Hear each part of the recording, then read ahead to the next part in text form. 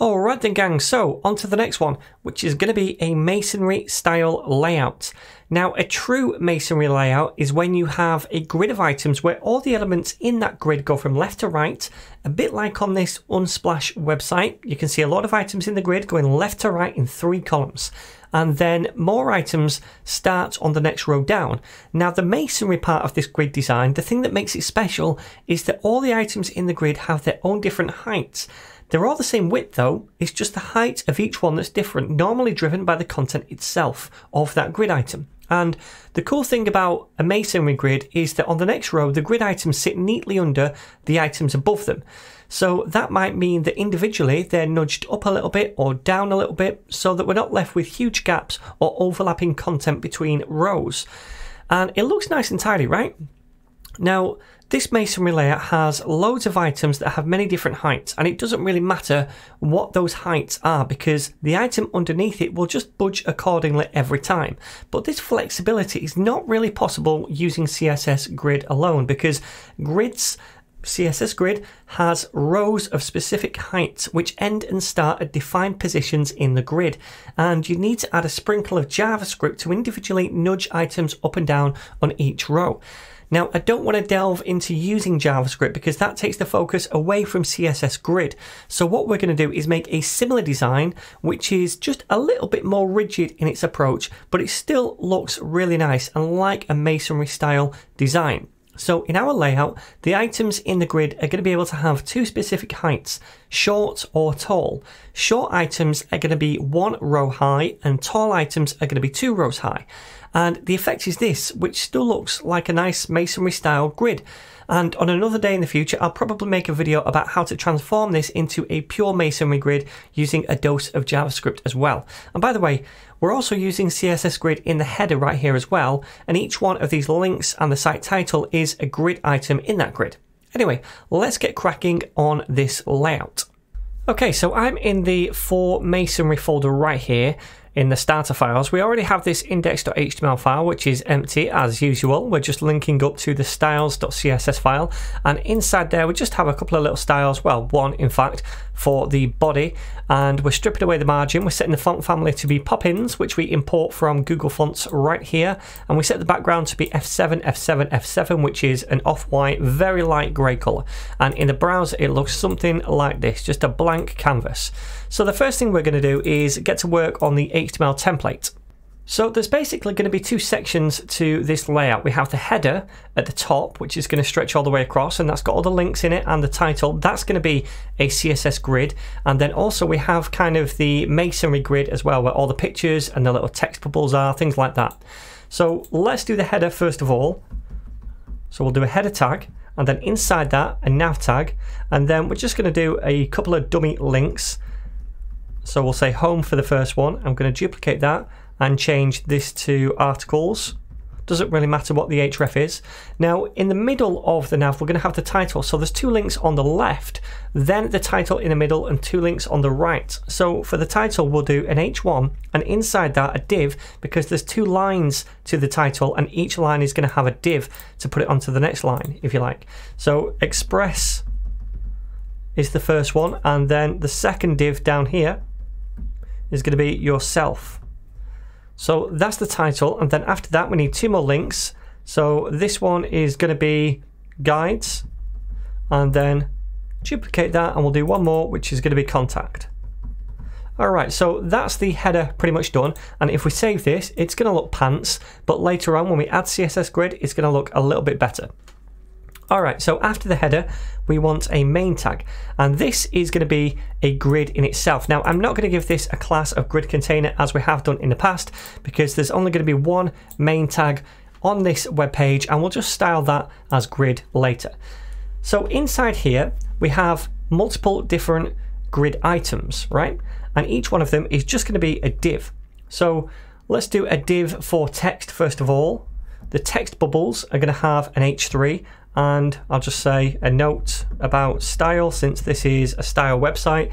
And then underneath that we're going to do a paragraph tag with a bit of lorem ipsum. So I'll say lorem 15 or something like that. And in fact that's a little bit too long. So let me delete this a little bit. We'll just go to maybe this. That'll do. Okay.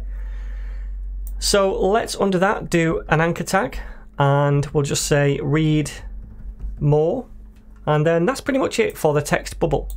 So I'm going to do another div after this and this time it's going to be for an image.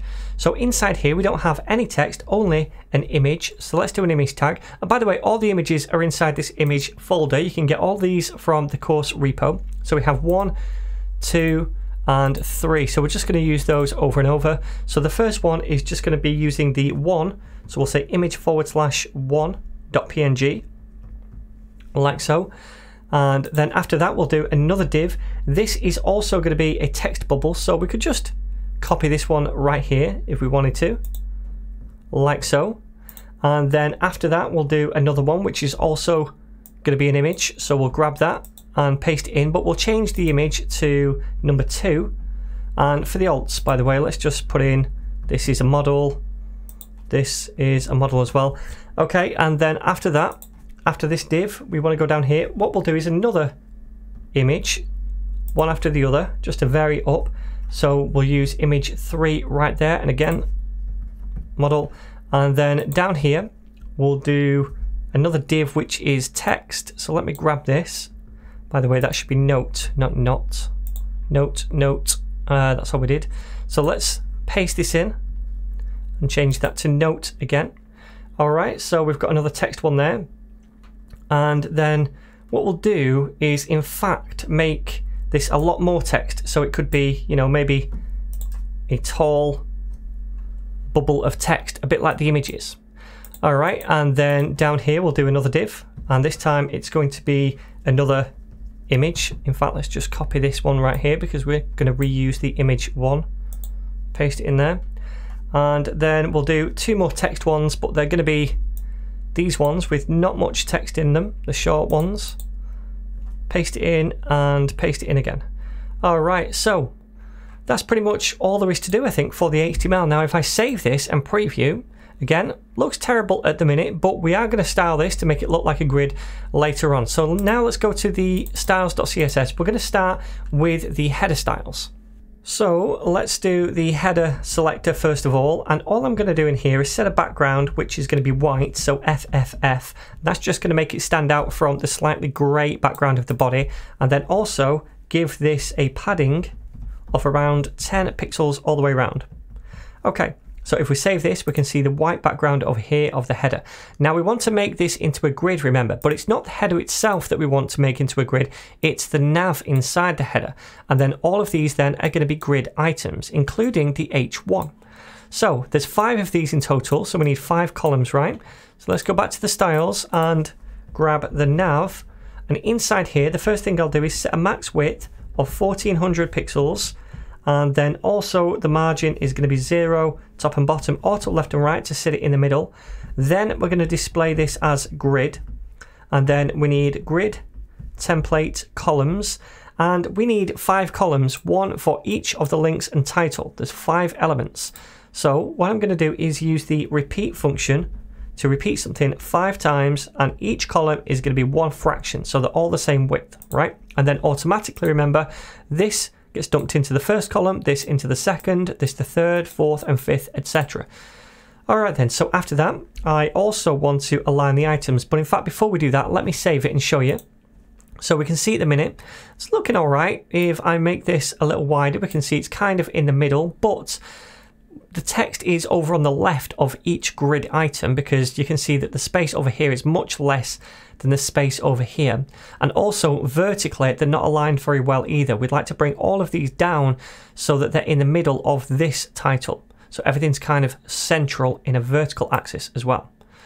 So let's go back and down here we'll say text align first of all is going to be to the center and that means that every link now is going to be in the center going across horizontally. You can see the gap over here is now equal to this gap, but we want to bring them down as well. And to do that, we can use align items. So align items, and we'll say center for this as well. And that should bring them down to the center of each cell. So now they line up a bit nicer. All right, cool. So now what I want to do is just add in a few styles for the anchor tags and the H1. So I'm going to copy these from my repo because they're nothing to do with CSS Grid and you don't want to watch me type them out, just a couple of styles.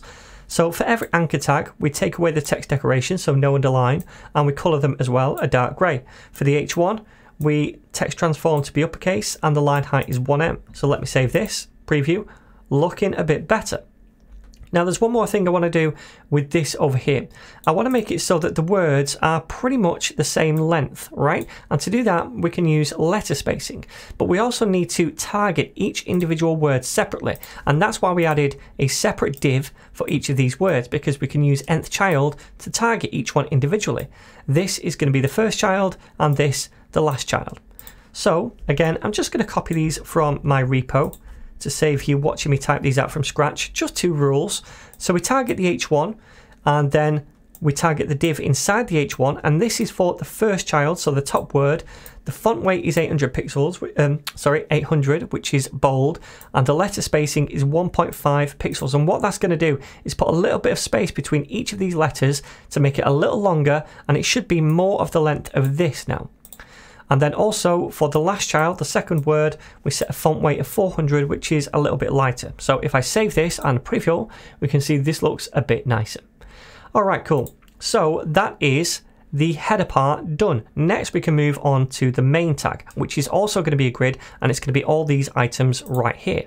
So remember, in the index.html, we have this main tag. This is going to be set to display as a grid, and all of these divs inside the main tag are going to be grid items, okay? So over here, let's target that main tag and spell it correctly for one. All right, so the first thing I'm going to do is set a max width to this to be 1200 pixels, also a margin, 60 pixels top and bottom, auto left and right, that means it's going to sit in the middle of the page. So if we save this, we should see it scoot over to the middle of the page, right? We have this gap on the left now, awesome. And then after that, we want to give this a padding of about 20 pixels. And then we're going to set the display to be grid. All right. So now what we want to do is set the template columns. Now we're going to have three columns, one, two, three. So we just need to set the grid template columns property. And they're all going to be the same width. So one fraction, one fraction, one fraction, like so. Okay. And if we press save now, then we should have seen this start to take effect. Ah, I need to add an R on right there. My mistake. Okay, yeah, looking a bit better. All right. Now, I also want to set the row height as well. But how am I going to do this? What I don't want to do is something like this. Grid, template, rows. And then at the minute, what have we got? We've got one, two, three rows. So I could say, okay, I want the row height to be 250 pixels, right? So I could do three of these because we've got three rows. And now it's going to set the row height of all of these to be 300 or rather 250 pixels. Now, fair enough, these are overlapping at the minute, but we'll sort that out later on. But imagine I later add more items to this grid and we have six rows. Well, where are they going to get their height from? Because we've only coded three of the row heights right here. So we'd have to come back here and add three more, 250, etc. But there's a different property we can use instead of this when we don't know how many rows we're going to have, and that property is called grid-auto-rows, and we set that to be whatever height we want any new row to have in the future. So any new row that gets added is automatically now going to be 250 pixels, right? So that is the size of each row. That is the height of each row. All right, so I also want to set a gap, which is going to be 30 pixels. Alright, so let me save this now, preview. Now, like I said, we can see that all the content is overlapping, but later on we are going to sort this out because some of the different grid items are going to span two rows and therefore push the content down. So don't worry too much about that for now. For now, what I'd like to do is style these divs, these grid items a little bit. So I'm going to come down here and say main div.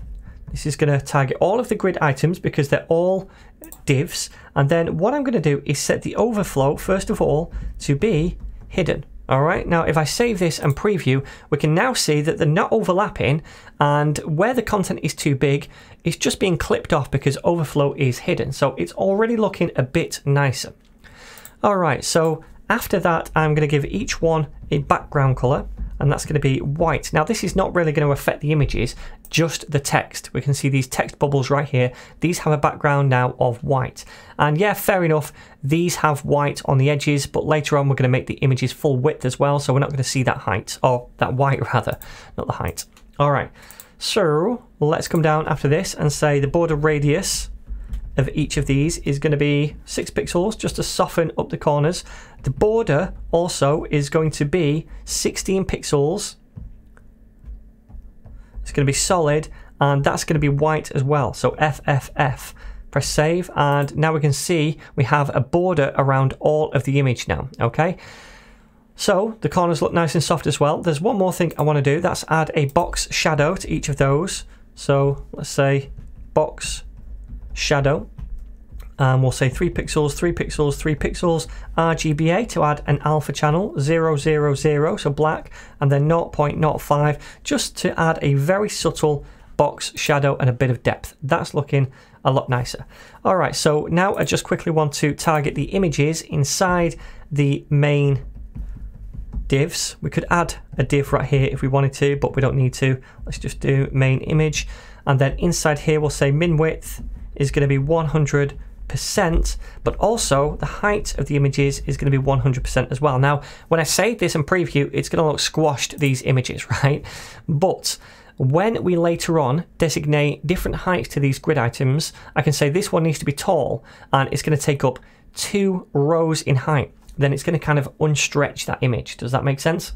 So that's pretty much looking good so far. We've kind of got the bare bones of the grid down. We've done the grid up here as well. I want to leave it there for this video because I don't want it to get too long. But in the next video, what we're going to do is tackle how we can make certain items tall, like these image ones, and maybe this text one right here as well. So we'll do that in the next lesson, but also make it responsive as well because at the minute it's not responsive. Okay, so I'm going to see you in the next lesson.